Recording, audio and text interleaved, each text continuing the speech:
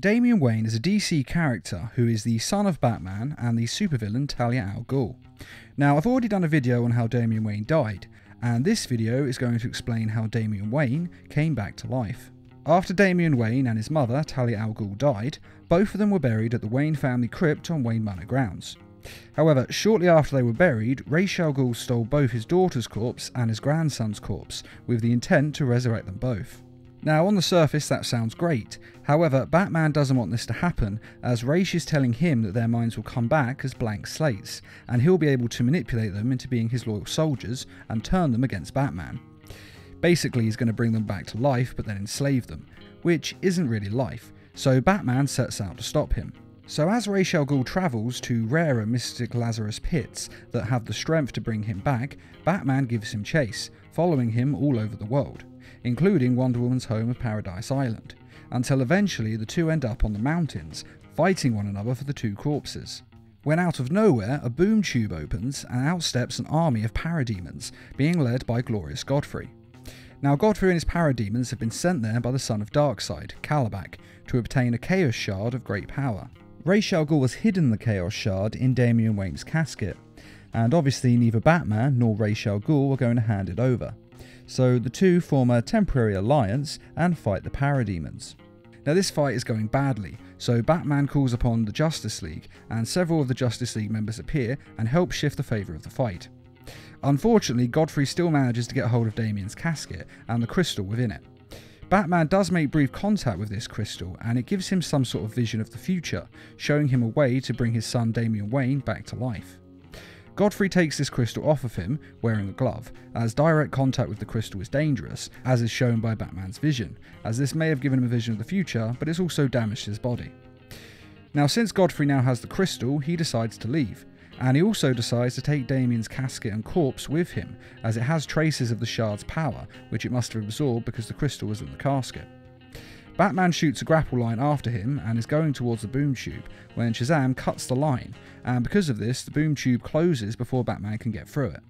Now, Shazam is smug about this, thinking he's just saved Batman's life, until Batman punches him in the face. Batman is furious at Shazam as he has stopped him from going after his son's body.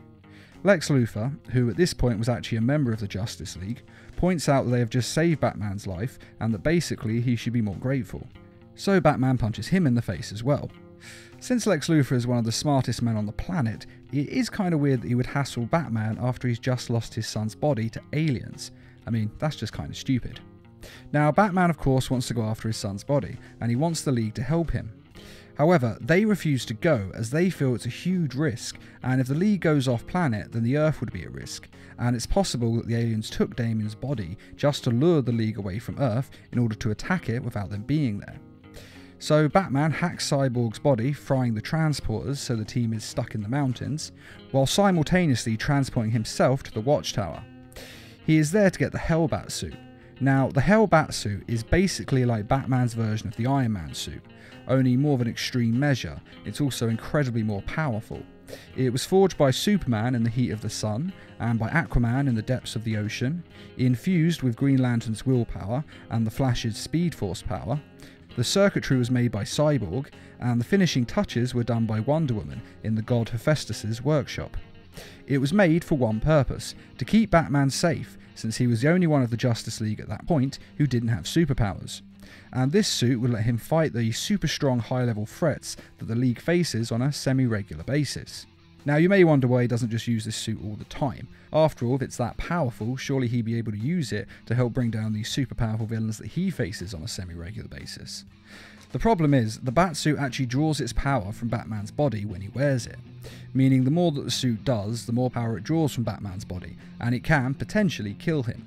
Basically, it's quite unsafe to wear on a regular basis. It's just for extreme extinction level events, so that he can be safe in those conditions, because if he doesn't wear the suit, himself and a lot of other people could die in those circumstances, whereas normally it's just too much of a risk to wear it.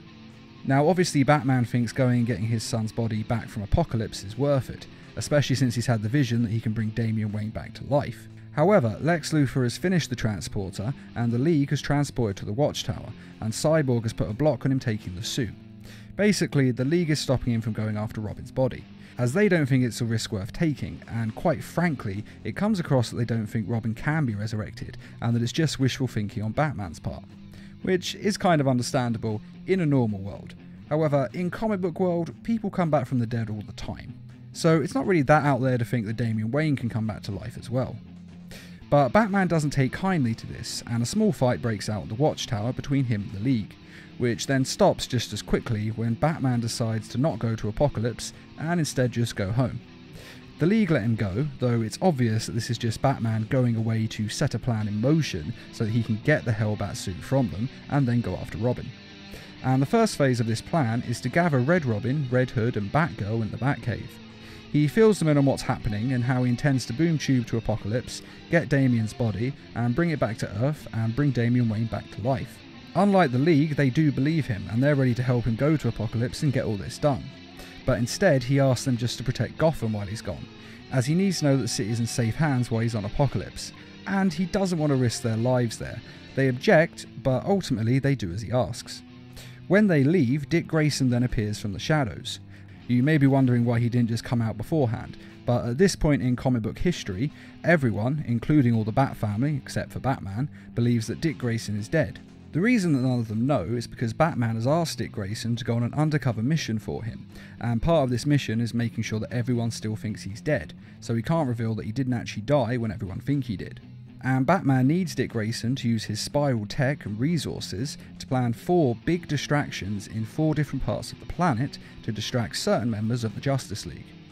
He, of course, does as Batman asks, and high tech holograms are set up to distract the Justice League members that he wants distracted. But not all of them, and Lex Luthor, who is on the Watchtower, figures out that this is all Batman's doing and that he's just trying to distract them, and he goes to confront Batman. He tells Batman that he's insulted that Batman didn't feel the need to distract him and Captain Cold. But Batman is already in the Hellbat armour and tells Luthor not to try and stop him. And then Luthor reveals that he has no intention of stopping him and says that he instead is going to help him. Now, Batman doesn't trust him, but then Luthor upgrades the Hellbat systems and reveals that Cyborg's placed a tracker on the Hellbat armour, just in case Batman tried to do something like this and take it. And so Lex Luthor wishes him well, and Batman boom tubes to Apokolips. And as soon as he arrives, Batman starts attacking the aliens at random, all to find out information on where Glorious Godfrey is. Meanwhile, back on Earth, Red Robin, Red Hood, and Batgirl have come back to the Batcave, as Alfred knew they would. After all, they never had any intention of letting Batman go to Apokolips on his own. They just said this to lull him into a false sense of security, just as Batman did to the Justice League. He did train them after all. Alfred then helps them to formulate a plan, First, they're going to recruit Batwoman into protecting Gotham while they're gone. Alfred, meanwhile, has contacted Batwing to protect the city as well. Next, they need a boom tube to follow Batman. Now, unfortunately, the only mother box that has been recovered is the one that Batman has used to get to Apokolips. However, Cyborg does have a mother box built into his armour. Now, the team are anxious about taking down one of their own, especially someone as powerful as Cyborg. Well, most of them are. Red Hood actually seems quite up for it. But nevertheless, they decide to take him down. So Alfred gets out Cyborg's box from Batman's set of boxes to take down the Justice League in an event of an emergency. These are literally what they sound like. They're emergency precautions Batman has designed for each of the Justice League members. Each box has something specific for a specific member, such as a kryptonite ring for Superman, or in this case, a Internet 3.0 computer that can take control of Cyborg's body. So they lure Cyborg to the Batcave, knock him out, and Alfred uses the computer to take Cyborg's mind and put him in a good memory loop, while Batgirl opens his chest and programs a boom tube to Apokolips. It's a plan that could easily go wrong, but this is the Bat family, and so the plan works perfectly. Just before they go, Alfred gives them all some custom retrofits of Damian Wayne's Robin outfit. This is because it's a special occasion, so they each have their own custom Robin outfit to protect them and to remind them who they're fighting for. The three go through the boom tube, but just then Cyborg's computer manages to wake him up, and before Alfred can stop him, he and Damian's pet dog Titus go through the closing boom tube and arrive on Apokolips with the Bat family. Meanwhile, Batman has been beating his way to Godfrey, taking out his men, and he is now interrogating Godfrey, which is the nice way to say torturing him for information on the Chaos Crystal, and of course the location of his son's body. Both the crystal and Damian Wayne's body are part of the Chaos Cannon, which is a cannon that drains planets of their life force in order to help strengthen Darkseid. Darkseid was of course beaten by the Justice League when he attempted to conquer Earth, and since then he has been recovering on Apokolips in a sort of coma. And because of this, this cannon was made by his son Kalibak as a way of speeding up his recovery and to help him to heal. And Batman is pretty pissed off that his son has been turned into a gun. After all, everyone in the world, except for Zack Snyder, knows that Batman hates guns. So he takes this anger out on Godfrey and then heads to the cannon and to his son. Now, as I said before, the Hellbat suit is powered in part by Batman's body, and it's been draining his life force as he's been on Apokolips. However, he's been ignoring the safety concerns in an attempt to get to his son faster. And this is important to bear in mind because the suit is really starting to hurt his body. But of course, nothing is going to stop him at this point, even if he has to die himself. Now, the other members of the Bat family are regrouping on Apokolips and being attacked by a pack of starving cannibals. They are able to hold them off, but once the mighty dog Titus takes out an animal, the rest all stop fighting to cook and eat the animal, as they were only attacking them to eat them as food in the first place. So then the Bat family and Titus and Cyborg then try to find out where Batman is. Batman is at this moment attacking and destroying a lot of Apokolips's army, with the Hellbat suit draining more of his life force. It seems as though Batman is only attacking in anger, but of course he does have a plan. Since he's causing so much property damage, it isn't that hard for the gang to find him, so they meet up, chat, and fill each other in. And though Batman is angry that they have come, he is in truth glad that they are there to help him, and he knows that they'll have made arrangements to keep Gotham safe while they're there. He explains that all the destruction he is causing is to lure out Darkseid, as he needs to face him in battle in order to bring Damian Wayne back to life, as this was part of the vision he had when he touched the Chaos Shard.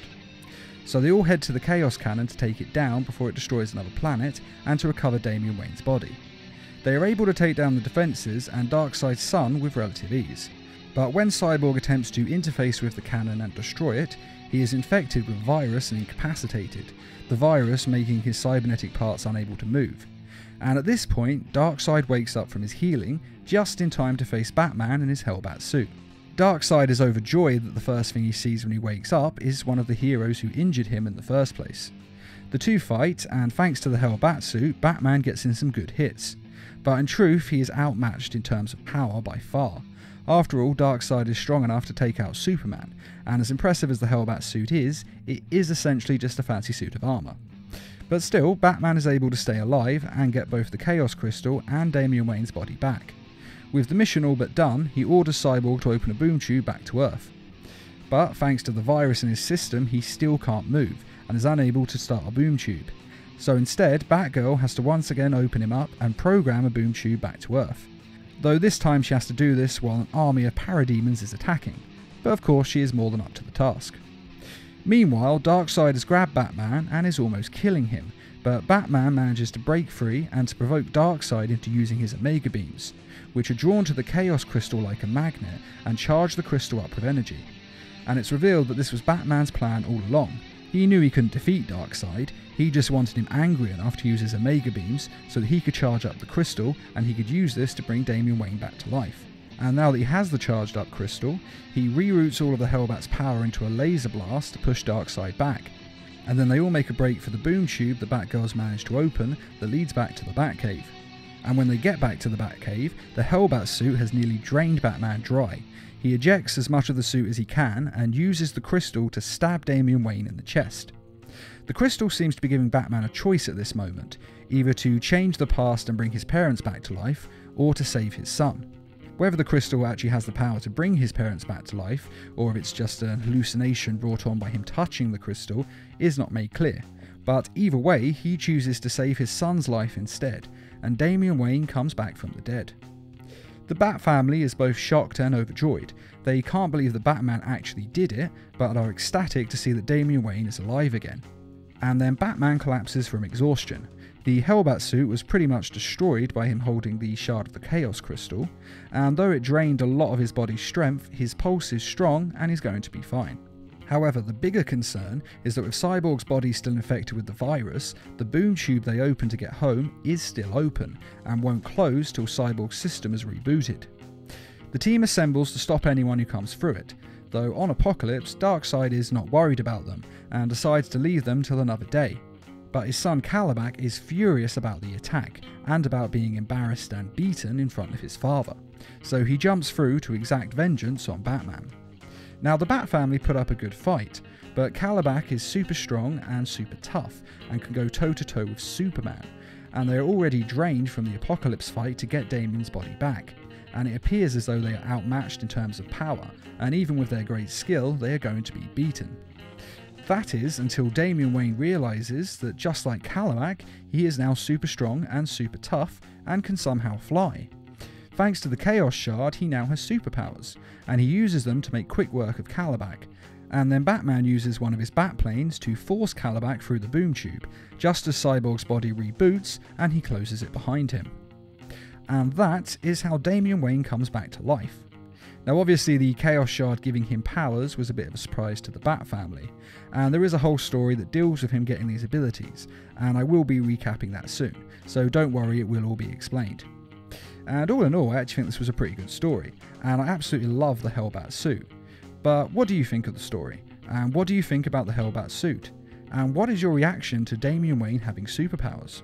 Be sure to let us know in the comments, and I'd just like to say a quick thank you to those who made this video possible by donating to the NeedleMouse Productions page on Patreon. Patreon is a crowdfunding site that is helping us to bring you more videos each week and to raise funds for adapting comic book stories into short animated films. If you're interested in donating or just want to find out more, a link is in this video's description. And as always, thanks for watching and feel free to subscribe, share, like, and comment.